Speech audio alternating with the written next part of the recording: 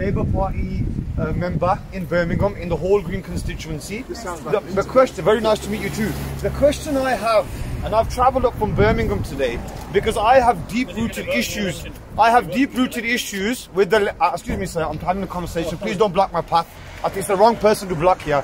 I have deep-rooted issues with the Labour Party and why Keir Starmer has done a U-turn on the people of Kashmir and our indigenous issue, our indigenous movement of the Kashmiri cause being an international issue, why as a British Kashmiri, as somebody who has been supportive of Labour Party, whose family has gone out and canvassed for Labour Party, what do you think that us Muslims are going to give you our vote just without your, your words?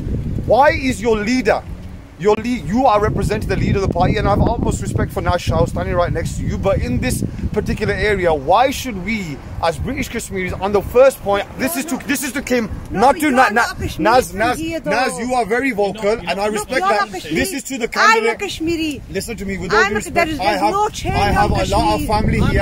I have a lot of things here. for you. Here. The fact of the matter is, I have to say, in Birmingham, I'm talking to Kim because Kim is a candidate. It seems like the candidate cannot even answer. I'm, I'm- I'm proudly from, I'm proudly from Birmingham. This me up. I'm Look, listen, this is a question to your candidate. Guys, can you see the candidate Where cannot you even answer? Guys, the people? candidate stooges Guys, are having to answer for him. I'm coming with a question. Answer the question. I would like to know Kim, why. Kim, you need to answer the guy. How Answer, you I've come from Birmingham. How are you? I've come from Birmingham. I'm respectfully asking you a Don't simple give me a question. chance to answer the This is a free country, yeah? Don't block the path. Answer the Give me a question. It's not funny. the I, I don't, we don't find it funny. We'd like you to answer. Go, go ahead, Kim. One second, please let her answer.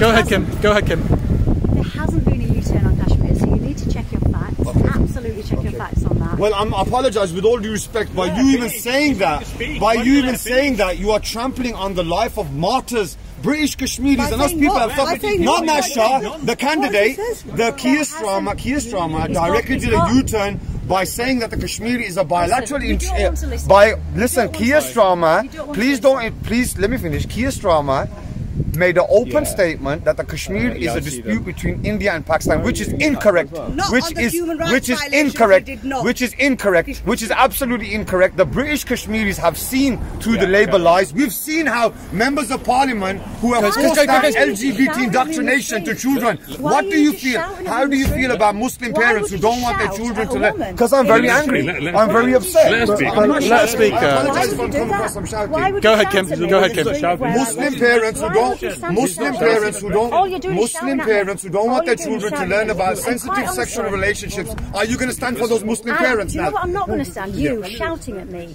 floor An is innocent yours. woman who has put herself forward. Go ahead, for Kim. No one's going to interrupt you now. This is where I live. This is my community. Uh, don't come here and shout at me in the street. The Muslim community of Batley and Spen deserve better than this. better. They deserve better than Look, this. we're, we're the community. I'm asking you, are you going to away. Don't support. Muslim parents, Muslim parents who don't want their children to learn about. LGBT indoctrination? Are you supporting those? Kim, I'm here, answer the question. Oh, are you running? Kim, I'm here to talk to you.